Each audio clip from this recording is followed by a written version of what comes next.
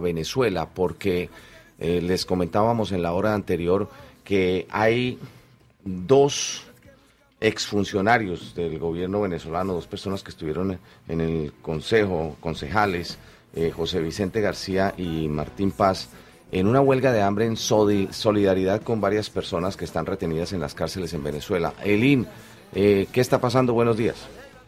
Buenos días, Javier. Ellos son actualmente concejales, ambos, en, la alcaldía de San Cristóbal en Venezuela, alcaldía de la cual fue destituido Daniel Ceballos, preso que está en eh, huelga de hambre desde hace 15 días. Ellos viajaron a Roma y decidieron colocarse también en huelga de hambre, pero en la Plaza San Pedro, frente al Vaticano, y eh, se piensa que en parte esta suspensión del viaje de Maduro que comentábamos hace algunos minutos, eh, suspendió su viaje eh, a, a, Roma para visitar al Papa, se debe en parte a que estos muchachos están allí en huelga de hambre ejerciendo presión para exigir tanto la liberación de los presos políticos como la intercesión del Papa para mejorar la situación social y económica en Venezuela. José Vicente García y Martín Paz están en el Vaticano. No sé si los tenemos en línea. buenos días.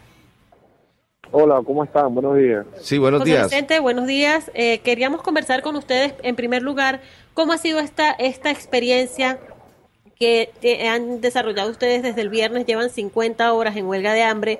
¿Cómo ha sido la receptividad de los venezolanos en Roma? Si se han producido algunas manifestaciones paralelas a las de ustedes, ¿cómo ha sido la situación estos días? Sí, bueno, lo primero que hay que decir es que estamos cumpliendo exactamente 72 horas, estamos cumpliendo ya tres días en huelga de hambre aquí en el Vaticano. Hemos tenido acercamientos importantes en algunos altos funcionarios del Vaticano, eh, de la Secretaría de Estado del Vaticano, eh, tuvimos la presencia de Monseñor Carlos Martínez, eh, un monseñor español que trabaja en, la Secretaría de Estado del Vaticano, quien nos dijo, bueno, que el Papa tenía una seria preocupación por nuestra situación de salud. Eso quiere decir que ya el Papa está enterado de nuestra protesta, está muy claro en que estamos aquí en la Plaza San Pedro haciendo algunas exigencias importantes.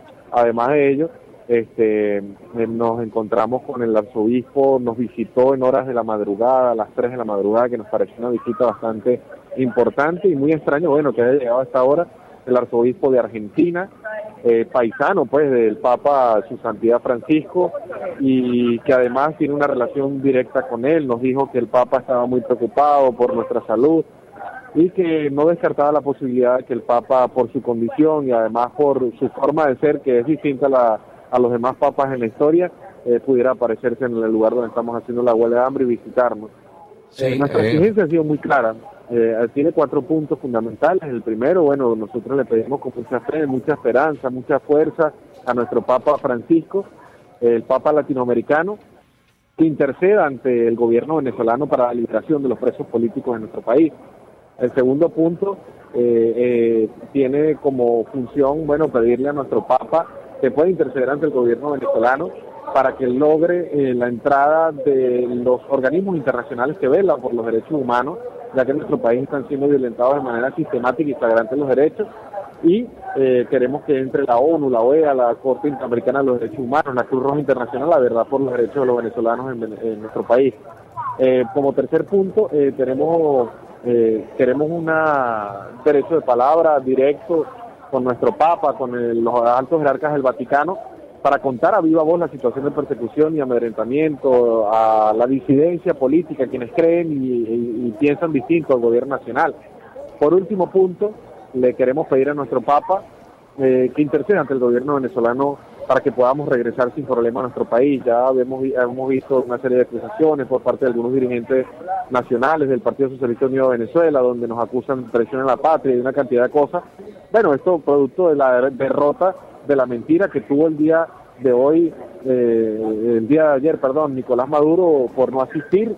Él habló de que tenía un virus y nosotros queremos eh, fielmente que este virus tiene por nombre la libertad, es el virus de la libertad, el que hoy eh, eh, tiene Nicolás Maduro que cree que va a excusarse y va a salirse del compromiso porque el Papa, él sabía que el Papa le iba a pedir la liberación de los presos políticos. Así que esta presión que hemos ejercido aquí creo que ha tenido una validez importante, pero sin embargo no vamos a levantar la huelga de hambre a pesar de que ya tenemos tres días, hasta tanto no consigamos nuestro objetivo. José Vicente, eh, Bien, estamos, estamos de acuerdo con todo el tema de la protesta y de lo que ustedes están exigiendo y la motivación. Pero cuéntenos ustedes cómo están allí. En este momento son, estamos hablando de media tarde en, en la plaza de San Pedro, en el Vaticano. Estamos a una gran distancia.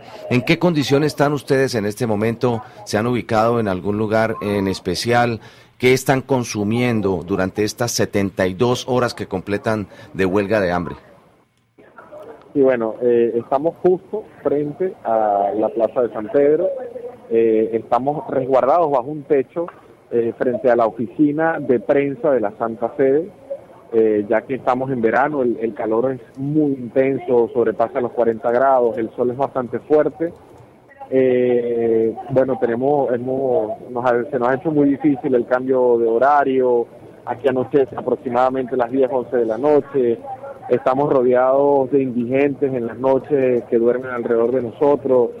Eh, y en el día, bueno, tenemos una gran concentración y visita de venezolanos que viven en Europa y pues se mantienen junto a nosotros durante el día.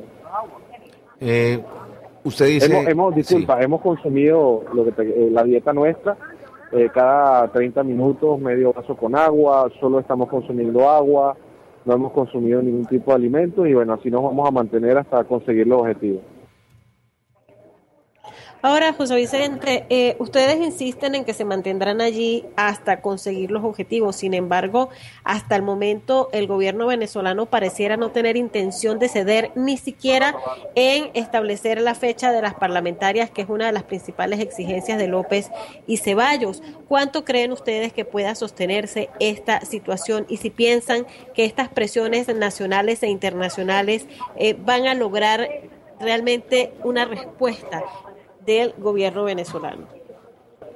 Mira, yo creo que eh, la situación extrema que vive nuestro país requiere de medidas extremas. Nosotros no estamos pasando por encima de los derechos de nadie.